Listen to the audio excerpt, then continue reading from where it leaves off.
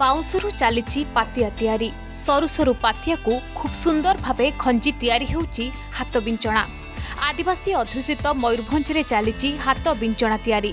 ହାତ ବିଞ୍ଚଣାର ବ୍ୟବହାର କାହିଁ କାହିଁ କେଉଁ କାଳରୁ ରାଜା ରାଜୁଡ଼ା ଅମଳରୁ ରହିଆସିଛି। ମାତ୍ର ଏସି କୁଲର ଯୁଗରେ ହଜିଯିବାକୁ ବସିଛି ହାତ ବିଞ୍ଚଣା। କିନ୍ତୁ ଦୁଇ ପଇସା ରୋଜଗାର ଆଶାରେ ଏବେ ବି ଗାଁ ଗଣ୍ଡାର ମହିଳାମାନେ ବିଞ୍ଚଣା ତିଆରି କରୁଛନ୍ତି। ଆଉ ଏହାକୁ ବଜାରରେ ବିକ୍ରି କରୁଛନ୍ତି। ଜୀବିକା ପାଇଁ ଗାଁ ଗଣ୍ଡାରେ ମହିଳାମାନେ ଏହି ପନ୍ଥାକୁ ଆପଣାଇ ନେଇଛନ୍ତି। ଆଧୁନିକତାର ଯୁଗରେ ହସ୍ତଶିଳ୍ପ ତଥା ବାଉଁଶ କଳା ହଜିଯିବାକୁ ବସିଥିଲା ବେଳେ କାଁ ଭାଁ ବିକ୍ରି ହେଉଛି ଏଭଳି ହାତ ତିଆରି ସାମଗ୍ରୀ।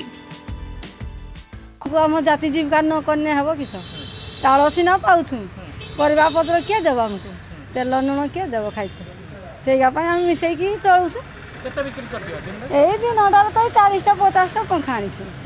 ତାପରେ କେତେ ଯା ପଇସା ଲାଭ କର ଯାହା ହୁଏ ଦୁଇଶହ ତିନିଶହ ହୁଏ ଲାଭ ଆମର ଫାଷ୍ଟ କଥା ହେଉଛି ମାଉସୀଙ୍କୁ ଦେଖି ତ ମୋତେ ପ୍ରଥମ ଦୁଃଖ ଲାଗିଲା ଯେ ଏବେ ବି ଆମର ସେ ପୁରୁଣା ବିଞ୍ଚଣା ବିକ୍ରି ହେଉଛି ତେଣୁ ମୋ ମନ ଆକୃଷ୍ଟ କଲା ଯେ ମୁଁ ବିଞ୍ଚଣା ଦୁଇଟା ମାଉସୀଙ୍କ ପାଖକୁ ନେବି ଏବଂ ଯେତେବେଳେ ଆମର ଘରେ ଲାଇନ୍ଟା ପଳାଉଛି ବା ଭଲ ମନ୍ଦ ଯାଉଛି ସେତେବେଳେ ମୁଁ ବିଞ୍ଚଣା ଦ୍ୱାରା ନିହତ ନିଶ୍ଚିତ ଉପକୃତ ହେବି।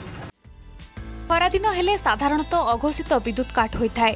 ଗାଁ ଗହଳି ହେଉ କି ଛୋଟ ଛୋଟ ସହର। ଗରମରେ ଅସ୍ତବ୍ୟସ୍ତ ହୋଇପଡ଼ନ୍ତି ଲୋକେ। ତେଣୁ ହାତ ବିଞ୍ଚଣାକୁ କିଣିବାକୁ ଲୋକେ ଆଗ୍ରହ ପ୍ରକାଶ କରିଥାନ୍ତି।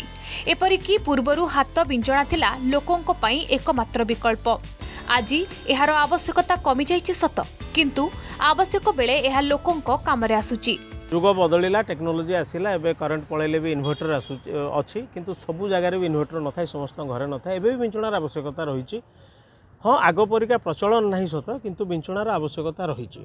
ଏବଂ ଆମେ ଦେଖିଛୁ ଆଗରୁ ଯେତେବେଳେ କରେଣ୍ଟ ଯାଉଥିଲା ଦୁଇ ଦିନ ତିନି ଦିନ ଯେଉଁ ଖରାଦିନିଆ ଝଡ଼ ବାତ୍ୟା ଯେତେବେଳେ ହୁଏ ଖୁଣ୍ଟ ଫୁଣ୍ଟ ଉପୁଡ଼ିଯାଏ ଦୁଇ ଦିନ ତିନି ଦିନ ଧରି କରେଣ୍ଟ ନଥାଏ ମାନେ ମାଆ ମାନେ ରାତି ଯାକ ବସିକି ଛୁଆଙ୍କୁ ବିଞ୍ଚୁଥାନ୍ତି କାଳେ ଛୁଆଟା ଉଠି ପଡ଼ିବ ବୋଲି।